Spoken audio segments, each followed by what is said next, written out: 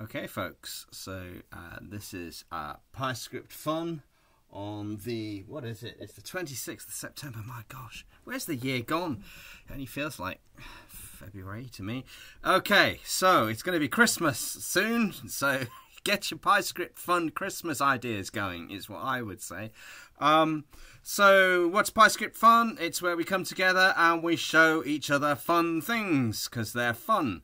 Um, and uh, I have a fun thing to show, which will probably lead very nicely into a really great fun thing that uh, Andrea will uh, lay out as well. And um, so the first thing, I- will just go straight into it. Madhur, have you got anything fun to show? Or are you just here for the laughs? He's grinning at me. I might have. Oh. I, I might have, but I'm asking Martin if you want to right now. Ah, right. Okay. So that might be cool. That might be cool. So we'll um we'll save that as a maybe uh in in third place then. So uh, I'm going to start then. Um so if I uh just head over to Visual Studio um and uh you can't see that can you because I need to share my screen. Uh, share my screen. Mm-mm, screens, screen one. Okay, so if I move you lot over there, uh, you should see Visual Studio Code. Yes, can I have a thumbs up or something that says that you can see Visual Studio Code? Yep, thumbs up. Okay, so one of the things that uh, we've been doing recently is uh, refactoring the test suite because we're refactoring the whole repo as we go along to make the code quality and the layout and everything nice uh, for people. Um, and so, uh, so this this has landed in main, which is rather cool. So we have tests for all sorts of different things, testing the config, all the things, all the different things in the uh, in the um, in the standard PyScript namespace uh, and you know things like the WebSocket and FFI and things like that. Um, we're using MicroPy script to make that work. And so if I uh, open this as a live server, there we go. Uh, and these, that's the test suite running in MicroPython. Uh, and it took how much did it take? It took half a second to run. Um, the equivalent test suite before took almost 30 minutes. Um, so I think that's a good improvement. Uh, and we could do other things, for instance, like uh, type equals py. So this is going to run the test suite with Pyodide. This is pretty cool. You can see Pyodide is going to be starting. I hope it's going to be starting. Here we go. So this is Pyodide. There are some of the tests that uh, only work in Pyodide. For instance, this is using Pillow, so that's why it's an expensive test that's kind of blocked. And then when Pillow's finished, there we see the rest of the test suite is done. So that only takes 12 seconds, which is still pretty damn good. Okay, and so what we've done uh, when we um, uh, we we have a whole bunch of JavaScript tests, integration tests that we run on build, and we have a whole bunch of Python tests that we run on build. And if you can see in the Python ones, we have MicroPython on the main thread, Pyodide on the main thread, MicroPython on a worker, and Pyodide on a worker. So the same test suite is being run in all the different sort of four contexts in which PyScript's uh, API, the PyScript namespace, might be used. So um, so why don't I uh, demo that in action? So here we go. Uh, if I do that, and I do npm uh, run build. So I'm going to run a build now. Um, this is how we make PyScript, folks. Uh, we get the special magic web Yoda sprinkle sparkle dust, and then uh, and then uh, we, we type npm run build.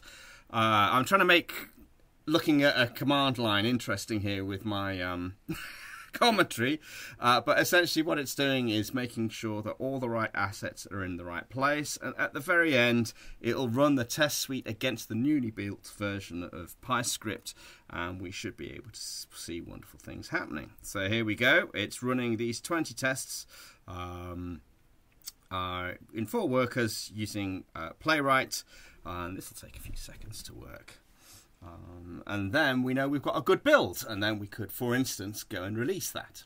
Um, and when we do an actual release, what happens is this very same script is run by our continuous integration um, infrastructure running uh, via GitHub Actions, and that is the thing that puts all the files in the right place. So the thing with the right version number goes to the right place on the internet. And you can see, you know, there is a uh, MicroPython async when listener is working, and we're getting to the Python unit tests. MicroPython on main thread took only three seconds to run, uh, and we should see uh, Pyodide and the other ones working as well. But I notice that there's already been a failure. Hmm.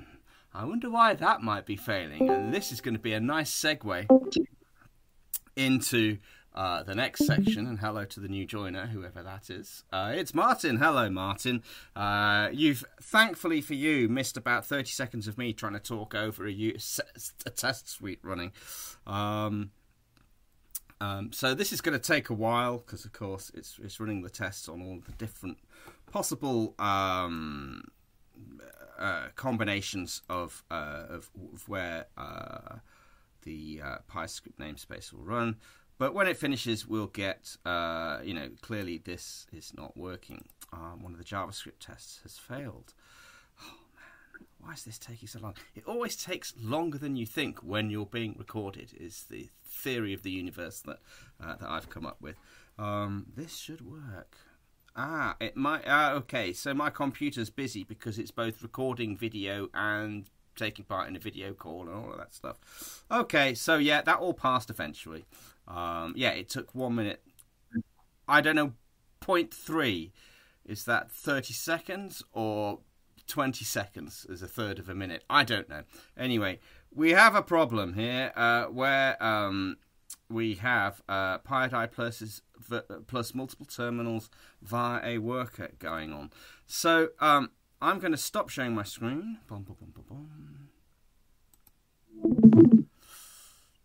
And uh, move you back over here so everyone can see that.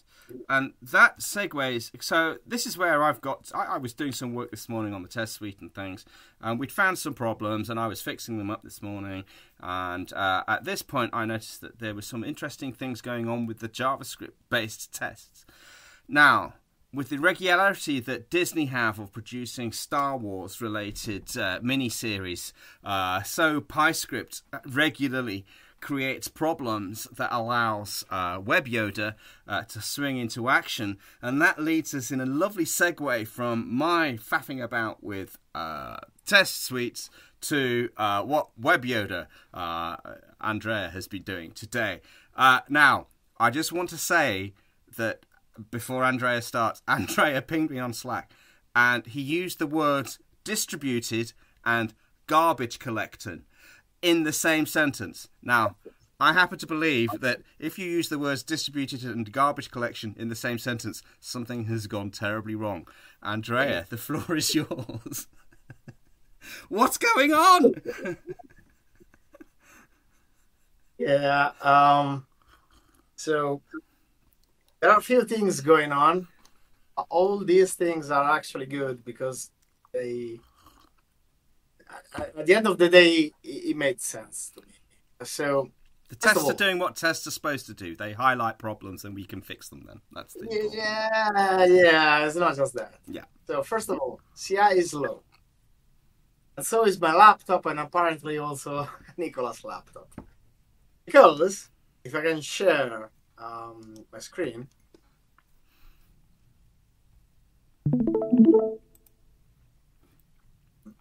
Okay, coming through. So we we found an issue. I fixed the issue. We thought it was fixed.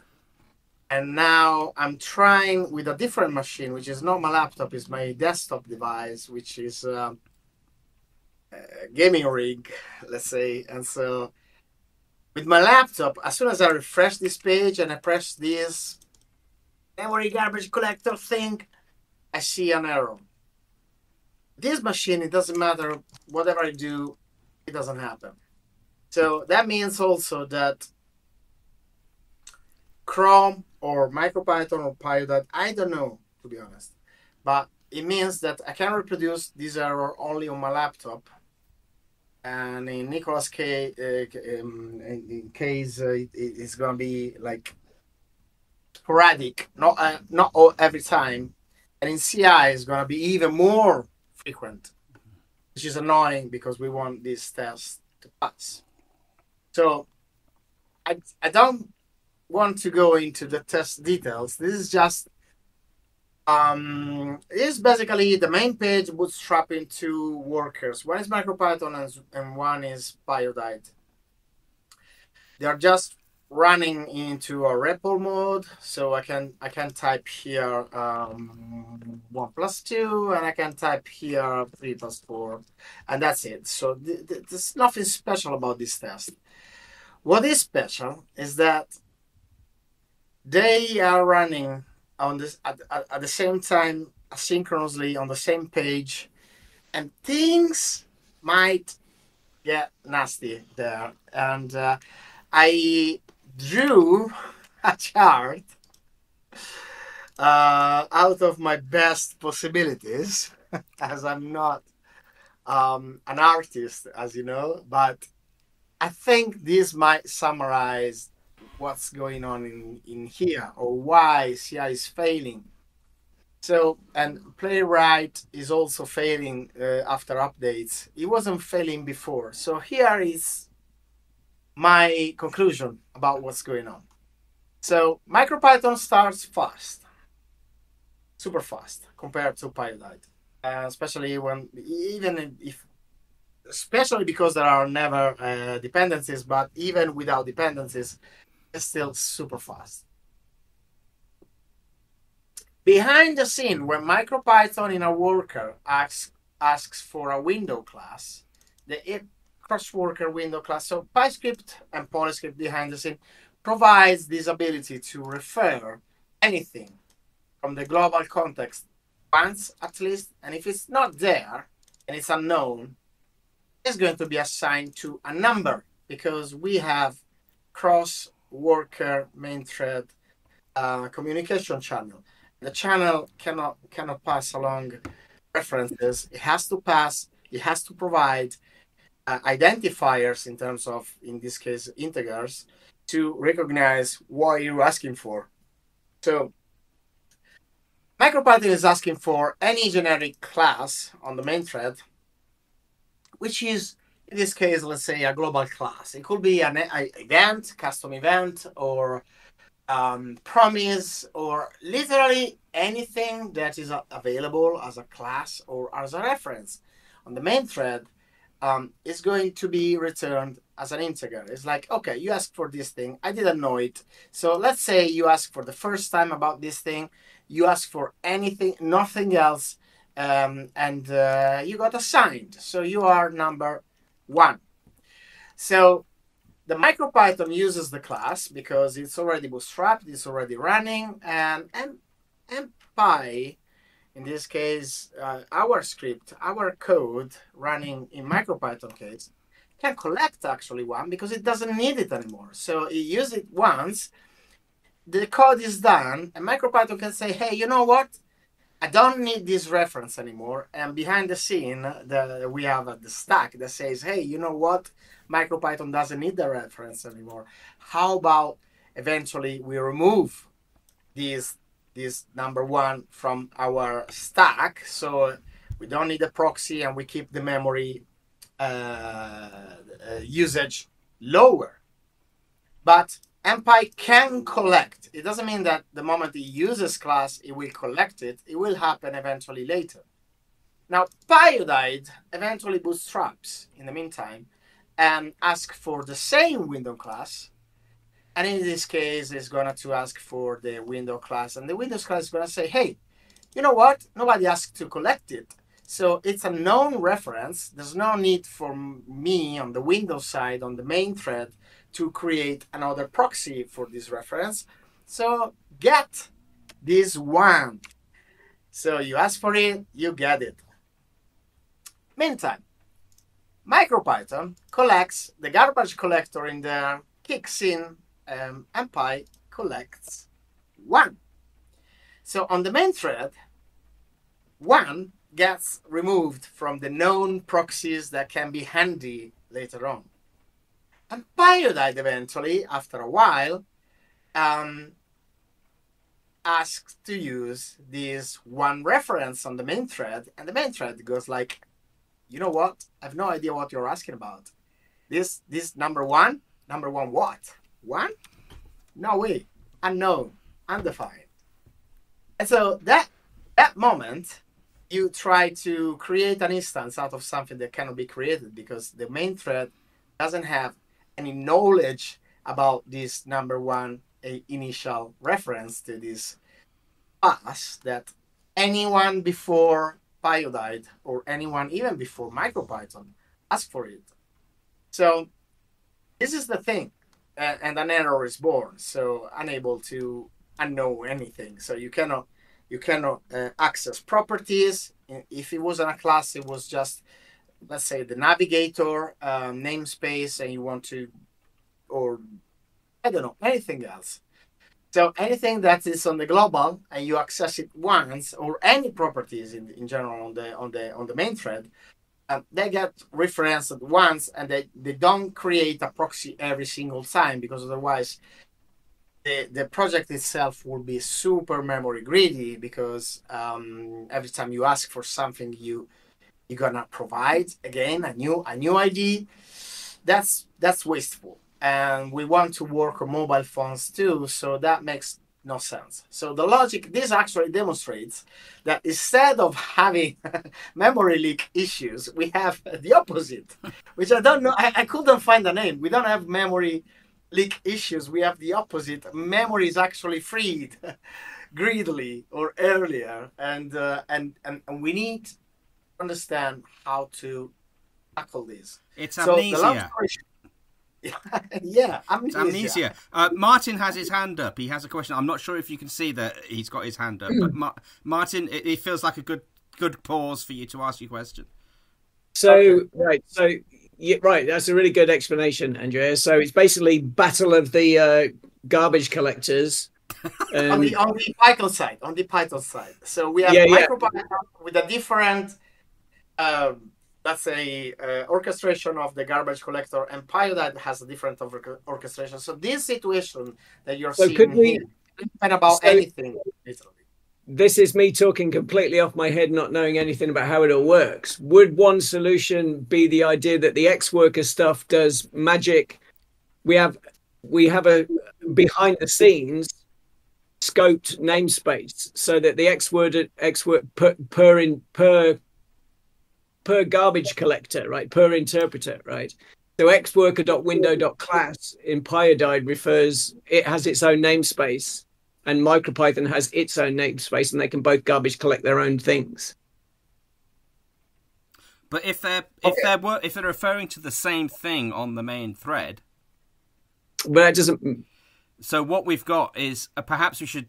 Uh, here's another off the top of my head type situation, a bit like it was Martin perhaps you could reference count. So I know I've got a reference uh, from MicroPython plus one. I've got a reference for Pyodide uh, plus one. I don't need a reference for MicroPython minus one. It's not garbage collected because we've still got that one reference left for uh, Pyodide on the WGA. Hey Fabio, uh, we're, talking about everybody's fun subject, which is garbage collectors. Um, uh, I don't know. that, that wouldn't that wouldn't work. That wouldn't I, I tell you what. Okay. I tell you what. If you access window doc- document many times in MicroPython, it doesn't mean you're referring or you're increasing the counter. Yeah. It's just MicroPython using window doc- document. It's always the same reference. Yeah. So there's no way to tell because that that window doc- document goes from the worker to the main and I asking for do you know this reference? Yes, give me the whatever I have to do to to keep going. Yeah. So the reference counting here doesn't work because right. it's never going to go away anyway. In the doc- document property gazillion times, and you never want to increase that yeah. reference count gazillion times. It's still you, MicroPython, accessing the. So the reference counting you're talking about works if the, the tech behind the scene, which is coincident uh, module, uh, understands who's asking for what. So understands different environment, different environment. So you, you, you can say, okay, MicroPython is asking to do- document once, and any other time it's still MicroPython asking for the same thing. So there's no need to erase that thing. And when MicroPython tell us that window doc- document uh, can can be go can go can be collected, um, we have to check. Does anyone else ask in the meantime about window document? And if that was Pyodide, then yes, in that case, we need an orchestration about cross boundaries, cross realms, cross words, reference counting. Although this might be a wonderful solution, to be honest, um, it's complicated. Let's. So the rest of this graph uh, is actually, a long story short, about what's going on. So cross worker windows is one. Runtimes are many, and that's what we are discussing here. Um, but coincident works by GC hints and was never developed to work by multiple GC hints because I never thought about that, and that was silly of me because I I thought okay somebody's asking for this is gonna use it, and I never thought about. The, uh, the combination of of um, both MicroPython and Pyodide asking for the same thing eventually in different times. And so they have different GC, and so the shenanigans are happening. Yes, we can see in current test case. Um, the solution to me, um, so globally address classes don't gain RAM once removed. What does it mean? If you ask for a global thing that is known on the window, that thing doesn't need to get collected. Okay, we ha- we we create a thin proxy layer on top of it, but the proxy is pretty is pretty uh, small in terms of memory use. It's just an indirection to whatever underneath there is. And so, do we need to collect whenever someone is accessing global things? Do we need to collect that? No, because any other module in the future that is going to be imported at runtime, for instance, could use the same primitives and they could reuse the window.document, the window.promise, the window.custom element, uh, custom event, or, or, or anything. Custom, custom elements actually was a good uh, reference too. So all these things never never go away from the main thread because they are in memory bound. So they are once you access those, those are and even before those already take an amount of RAM um, in your system. So we don't need to probably do that. Um, and still, when you from your MicroPython talking about um, reference counting, in MicroPython, when you create a new instance, it's gonna be always different from the new instance of the same class that you create in Pyodide. But the source class is gonna be always the same. So for instances, references, and all this kind of stuff, we don't care because right now they actually this failing test demonstrates that our uh, strategy to avoid memory leaks is working overly well, and so we have issues about memory being released. Um, Amnesia before before it should be. Amnesia, exactly. Um, so my my solution is to avoid trashing globally reached proxies. And that's what I've done as a first fix when Nicholas told me, hey, I start failing. And I, and, and, and I thought, okay, what's going on? And I digged into it and I thought, okay, something is going on with the garbage collector. So here, MicroPython and Python are using the same PyScript code to bootstrap. And maybe this reference in MicroPython has been reported as not needed anymore. And uh, Pyodide at the same time used that and it was too late because it was released already from the main. And so removing the caching locally in terms of scope and variables and this kind of stuff worked for one test, but it started showing errors in other tests. And I thought, okay, this worked, but this is the tip of the iceberg, and uh, and um, and the, the, rest of the story is actually this one, the one I tried Yeah. to to to tell you. And so yeah, that's that's all I had to share, and uh, and nothing else. But it's it's been some sort of Friday uh, Thursday fun, but not really. I think you've done a magnificent job because honestly, um, oh man, uh, like you said, using the words distributed and garbage collectors in the same sentence is never anybody's idea of fun. About as much fun as having root canal work with your dentist, I guess. Uh, but the point is, is that we understand what the problem is and we can move forwards with that. Um, I guess I, I, I can't help but thinking also. Uh, this is a. I, earlier this week, I pointed out to, to, Martin, and this will make him smile in a kind of a raised eyebrow, I told you so sort of a way, uh, where I said, Oh, don't worry, these things. Uh, we've put in the documentation. We've given you a big bazooka. Um, you know, uh, if you start to if you start to mess around from work- different workers with the same main thread, you know, aspects of the DOM or whatever, they're going to be treading on each other. Well, that's exactly yeah, that's exactly what we've been doing in our tests. Um, so, uh, yeah, uh, we, we we want to we want to solve the issue. We don't yeah, want yeah, yeah, exactly, exactly. People, it's their fault, right? Because this is definitely nobody's fault, and it's also extremely rare as a as a as a circumstance to encounter. I have to refresh. I don't know how many times my browser try. I don't know how many times my test locally to see the failure. But once i got the the slow device enough to reproduce uh, after garbage collecting all the things uh, quickly with my mouse and and that made me realize what was going on. So it's a matter of timing but it's not timing that we do wrong. It's a garbage collecting timing that might interfere with other uh, things. So it's extremely rare. Nothing to be super worried about. At the same time it's an issue that we need to tackle don't don't run your nuclear power station on it just yet. Okay so um Andrea, that was a magnificent exposition. Thank you very much uh, for that. I'm looking at Madhur, who who looks like. Oh no, he is awake. He he was just looking down. He looked a little bit asleep there. Uh, uh, Madhur, do you have permission from uh, from from Mr. Big that you're allowed to uh, demo whatever it was that you're allowed to demo?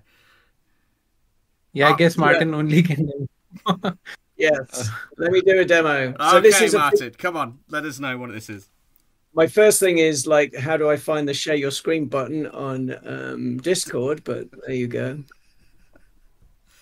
Screen. So I have uh, Nicolas and Madhur frozen, and Mark is uh, moving uh, icon. so this is going to be a very short demo. Can you see my screen? Yeah. Can you see Old Dawn? Old Dawn. Yes, Old Dawn. The, yes, three times. The name three, of, yeah. three Old Dawns. So this is uh, it's it's only in dev we um, at the moment, and it's still under development. But this is the idea of channels, so that you can write, for example, applications that send messages, and everyone can listen to them. So you'll see as I if I refresh this guy over here, these two get notified. Oh, he, he unsubscribed and he subscribed, and I can send a message to everybody. So this is like what uh, for Chris at Tufts, if you're listening, this is your your um, pub sub system, so I can send messages to anybody in the um, any other applications that are listening on on a channel. So, and this is all done with web workers. It is uh, no, it's done with. It's just very. So let me show you the code. It's just WebSocket. Right? So, web, as, sorry, as that's what I meant. Did I say web yeah, workers? Sorry, yeah, that so garbage collection nightmare has kind of like affected my brain. Yes, I meant web work. Web, web, oh, I can't even say it now. Web sockets. Yes. Yes. So basically, this is my little. De- it's currently JavaScript, but it's going to be part of the SDK. Um, so you and will be written in Python. So basically, I just subscribe to my WebSocket. I listen to messages coming in, and I can send messages going out. Um, but the idea is, you know, you can write now. It allows you to write things like a tic tac toe game, and you can you can send communicate between um, the the players in your tic tac toe or anything like that. But, Or or like Chris often does, right, for sending data around the places, publish streaming data to a channel, and everybody else can listen to it and do a plot or do whatever you wish. Fantastic. So. Um, all those cases. That's that's basically um, that was it. Perfect. And um, my gosh. So uh, yeah, what I would love to see is that, but in Python rather than JavaScript. Clearly, using the Exactly. the, the PyScript.WebSocket, it should allow you to do that pretty pretty easily. Yeah. Um, wow, that's incredible. That's amazing. So it means that, for instance, with Invent, we could start to make a WhatsApp clone in five minutes. Exactly. Bravo. And so and, and so we, we're using Redis under the hood as our pub sub bus. Yeah. Um, and so as soon as we get a Redis instance stood up in prod, we can go to prod with it basically. So it's not so all the code's there. It's all it's all um, and then we've got some issues to talk about um, in terms of user facing, right? Should right now you don't have to declare a channel, but our thought is that maybe you do have to declare a channel in your in your PyScript.com. Say, oh, I want to make a channel, yes. um, and then you can only use those names just to prevent Yes. you know channels coming and going all over the place the scalability but there, just, there'd be no technical reason for that other than just a helping making it clear Yeah. to people oh i've created a channel Yeah. use my channel you know so It, it helps with the conceptualization of what what on earth is going on. Um, exactly Yeah, Exactly. I, I, I must admit, I, I, oh, four years ago, maybe just before COVID, um, I created a multi-user dungeon, and of course, the, that needed a message bus, and I was surprised because I, I was using Redis as a basically a JSON store, and I was just throwing Right. objects into it. it. It's it's a really great key value JSON blob type thing that you can Yeah. use. Um, and then I, you know, I noticed it had this kind of uh, message bus thing built in, and, and it was an absolute joy to use um, from Yeah. Python. Uh, I really big fan of big fan of Redis. Uh, yeah and i think for us right the underlying technology it doesn't store messages it, they're delivered immediately Yeah. and so for us it's like we don't we don't need the, the idea of this is you wouldn't necessarily you wouldn't use this technology if you're if it was a critical system right Yeah. There are chances that a message gets dropped somehow along the way right Yeah. you know a, a pod gets rolled or something right but i think for the use case of, of PyScript apps i think it's it's super simple Yeah. no data's stored anywhere messages come in go out Yeah. um, yeah Yeah, it's I, good I, I remember um, because I've used Rabbit, which is written in Erlang, which is this massive thing. Um, and then I Rabbit looked at- MQ. uh, yeah, Rabbit MQ, and uh, I I looked at the uh, Redis source code to see how they did it. Uh, and honestly, there's not a lot of C that make it Right. work, that makes it work, which was a wonderful thing uh, because there's not a lot Yeah. to go wrong, um, really. Yeah. Uh, and if things do go wrong, it can only be a certain class of problems rather than all of these sorts of possible problems, which is the problem that I found in when we were using it with FluidDB, which was a, a- another company I worked for um, that made heavy use of Rabbit MQ. Um, but uh, this sounds wonderful. Uh, I can't wait to see what people build with that. Uh, hopefully, Yes. we'll have lots of fun demos in PyScript Fun. Yes. So we'll get that. Yeah, we'll get that out to prod. Probably won't be this week, but I'm hoping it would be um, next week or the week after. So Bravo, perfect. That's great, and I, I'm looking forward to using it. You know, with Invent and things like that, we're going to have a lot of yeah, uh, exactly. The invent, the invent WhatsApp clone, right? Yeah, That's yeah. what we can. Oh, there's more. Uh, uh, let's just say Josh and I have been investigating Tesla APIs. Um, so Nice. So I so I can remotely just drive your Tesla. it's not just geese that honk. Is all I'm going like to say. if, if you notice one day your Tesla just starts reversing out of your driveway, you'll know it's me on the. yeah. Oh man. Uh, yeah. Python on the edge, or on the edge of your seat, anyway. Yes. Ah, well, that's that was that was great. That was fantastic. I'm so pleased to see that that landing. And uh, and Madhur, was it you? Because you know, you said, "Can I?" Uh, I mean, was, was it you who, who wrote this, or um, is this a team no, effort? together, together, together. Team effort, team effort. yeah. yeah. Okay, okay, okay. Well, congratulations to the dot com team for, as always, sterling work and excellent uh, engineering going on there. Um, I don't think there's anything else uh, scheduled for PyScript Fun, so um, uh, I'll see. If I, I'm going to stop the video in a second. Uh, but if you're watching online, uh, this happens every fortnight on a Thursday. Um, and uh, what an epic this one has been. Um, so going from tests to garbage collection to message passing, uh, all in the space of about 40 minutes. So uh, that's it. I'll see you folks around.